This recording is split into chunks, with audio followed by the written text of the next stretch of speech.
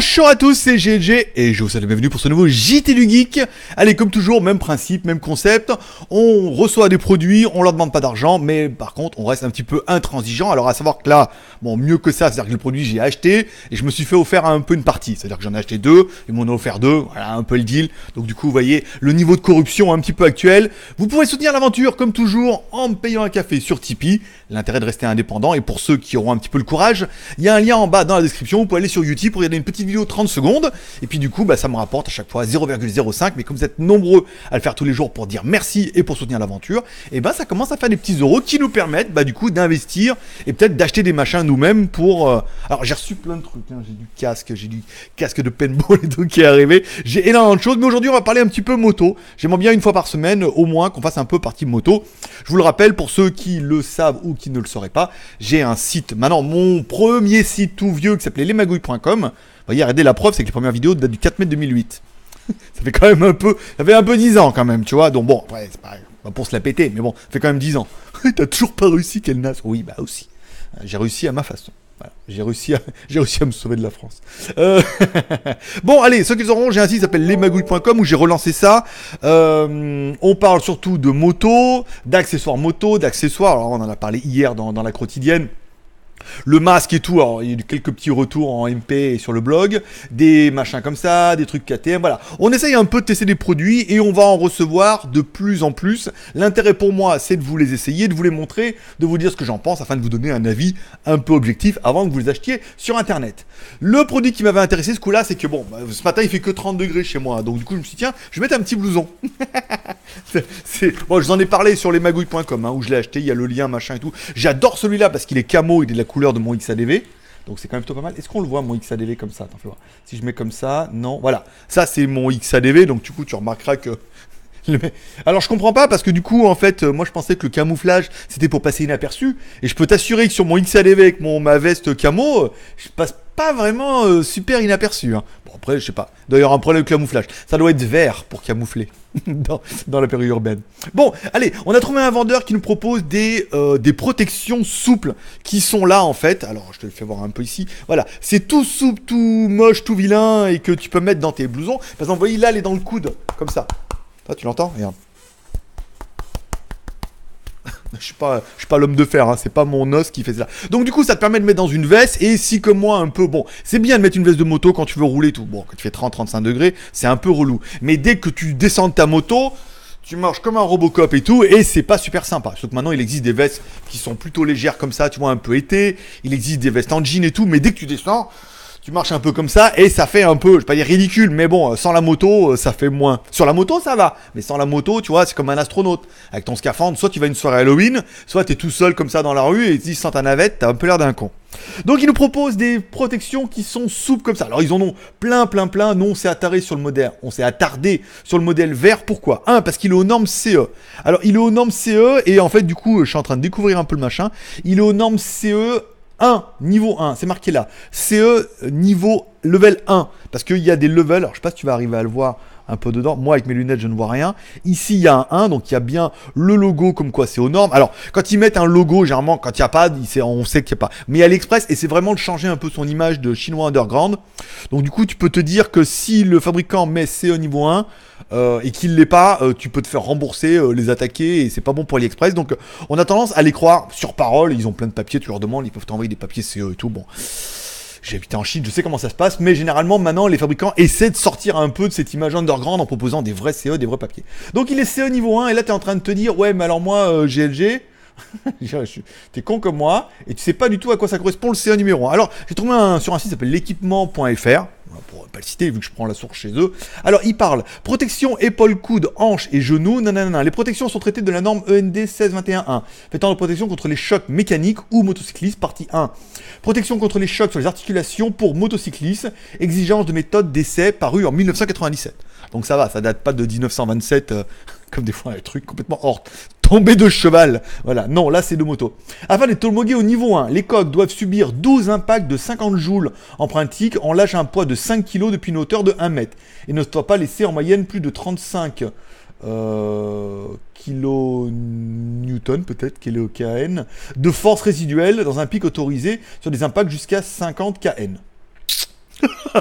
ouais, bon, bah voilà quoi. S'il y en a qui comprennent ça, qu'ils n'hésitent pas à le mettre en commentaire un petit euh, voilà, c'est pour le nettoyer. S'il y en a qui comprennent ça, qui sont capables de nous expliquer, qu'ils n'hésitent pas à nous mettre en commentaire, pas à dire mais tu connais rien machin, mais on connaît pas tout. Je désolé, on peut pas tout savoir sur tout. On peut faire semblant, mais on peut pas tout savoir sur tout. Alors s'il y en a qui sait, qui nous explique, et du coup déjà je me coucherai moins con, et je pense qu'il y en a beaucoup qui vont regarder cette vidéo, qui vont se dire ah putain, en fait c'est plutôt pas mal, moi aussi euh, je vais me coucher moins con.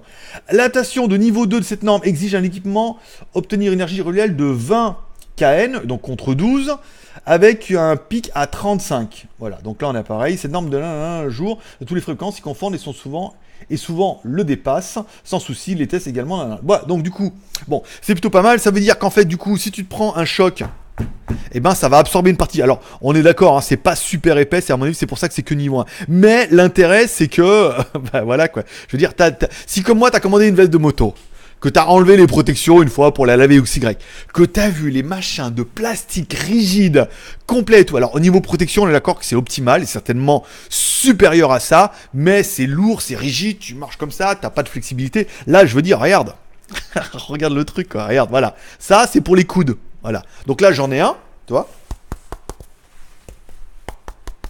on l'entend bien, hein, c'est bien le même bruit. Hein. voilà. Et ça, c'est pour les épaules et je crois que tu peux les mettre aussi sur les genoux.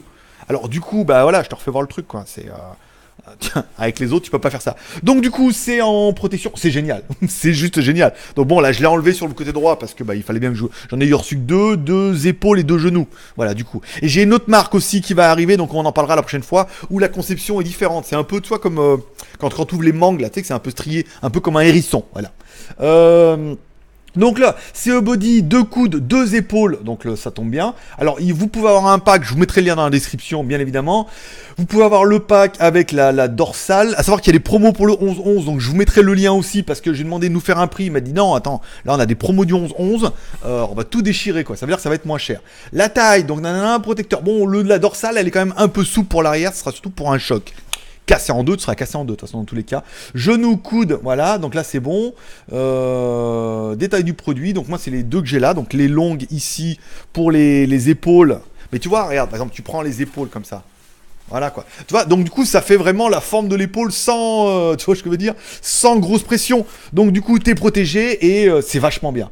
Je trouve ça vraiment bien. Alors après, il faudra faire la chasse sur leur site. Ils ont de niveau 2. Alors la dernière fois, j'ai cliqué sur un lien et je suis tombé. Ils m'ont dit non, mais en fait, on a euh, aussi niveau 2. Cliquez ici. Mais de tout ce que j'ai trouvé, moi, c'était niveau 1. Alors, si je clique là-dessus, par exemple, pour voir, ils vont me dire quoi. Alors des fois c'est marqué, des fois c'est pas marqué. C'est un peu le problème voilà des vendeurs un peu AliExpress. Là ils disent free shipping, machin, euh, side, dorsal, 1. Donc là voilà, le CE type appli 1. Donc là il y a vraiment la norme de CE et tout. Donc euh, libre à vous si vous voulez absolument torturer les machins. Donc là celui-là, celui-là il est niveau 2. Et on voit en fait il est pas du tout strié pareil. Hein. Il est beaucoup plus... Euh, il est beaucoup plus ouvert, comme ça, avec beaucoup plus de points. Donc du coup, je vous mettrai le lien en description. Moi, je trouve que c'est un produit qui est génial. Du coup, je regrette de ne pas avoir su ça tout de suite et de ne pas avoir acheté tout de suite du niveau 2, parce que bah, on veut toujours ce qu'il y a de mieux. Donc j'ai acheté du niveau 1. Je vais être obligé de recommander maintenant du niveau 2. Mais ça peut être pas mal. Encore une fois, vaut mieux ça que rien. Pour me dire, c'est pas assez machin, mais vaut mieux ça que rien. Parce que les machins, les vêtements, on a tendance à les enlever en disant, ouais, c'est bon. Je veux dire, vaut mieux mettre des petites protections comme ça dans les épaules et dans les coudes. Et au moins, tu as un truc au moins de niveau 1. Quand tu te scratches, ça absorbe 35 5 PN euh, Pascal Newton euh, ou Noémie Pascal euh, Tango Alpha Charlie.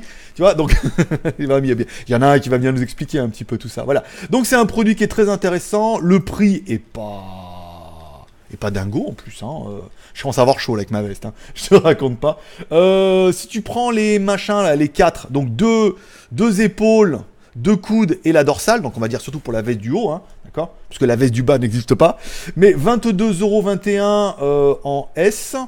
Et en M, c'est le même prix, voilà. Free shipping, donc moi j'habite en Thaïlande, donc c'est free shipping machin depuis la Thaïlande. Donc c'est très vraiment un très très bon produit. Je suis assez content d'avoir connu ça parce que j'étais vraiment en recherche. J'ai vu qu'il existait sur les sites spécialisés de moto des trucs en silicone, machin, trop bien, en gel, machin. Mais le prix est juste euh, prix de la moto, tu vois ce que je veux dire. Après, le but c'est de trouver un équilibre. Mais là, voilà, par exemple, en niveau 2, euh, qu'est-ce qu'on avait vu? Celui-là, il est en niveau 2, ça c'est sûr. Niveau 2, ah bah oui, c'est marqué en plus, qui est conne. Euh, niveau 2, Max Marin, Max Mara, euh, SM B77. Ça vaut 16,41€ euh, ici et c'est fait pour protéger. Donc c'est plutôt pas mal. Voilà. Je vous mettrai le lien la description, comme toujours, les 3R et un petit TU. Tu peux partager ces vidéos sur les réseaux sociaux, que des gens qui sont motards et qui cherchent un type d'équipement comme ça ou qui voulaient vraiment les voir en vrai pour savoir ce que ça donne. Est-ce que je vais me jeter par terre pour savoir si ça résiste? Non, il est pas con comme ça quand même. Est-ce qu'il faudrait les attacher, mettre un poids comme ça et les tirer derrière la moto pour 500 mètres pour voir si ça va scratcher? Oui, un petit peu, surtout pour le choc. C'est pas trop pour le frottement et le scratch, euh, scratchement. Voilà.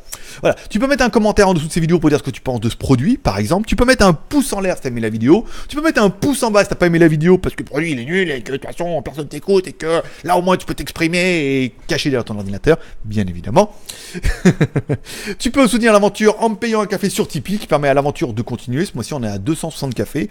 Et si vraiment bah, t'as pas de thune et que t'arrives pas à mettre un pouce en l'air mais que t'as envie de soutenir l'aventure et nous aider à grossir et augmenter cette pyramide en étant totalement indépendant et intransigeant, tu peux aller voir une vidéo sur YouTube, YouTube, le lien dans la description. La vidéo dure 30 secondes et ça me rapporte chaque fois. Tu peux en regarder 3 par jour. En ce moment, c'est Netflix. Voilà. Comme ça, ça permet. Je t'oblige pas à regarder la pub. Si tu veux la regarder, tu peux le faire. Voilà. Paix prospérité. Moi, je donne rendez-vous. Donc là, sera la vidéo de samedi, donc il n'y aura rien, il n'y aura pas d'accrotidien aujourd'hui. Demain, il y aura un smartphone, c'est sûr. Lundi, alors on attend pas mal de trucs de moto, hein. notamment des trucs de masque comme ça, des gants euh, étanches sous l'eau et tout. Donc on fera quand même des tests. On n'ira pas rouler en moto parce qu'il fait 35 degrés l'après-midi ici.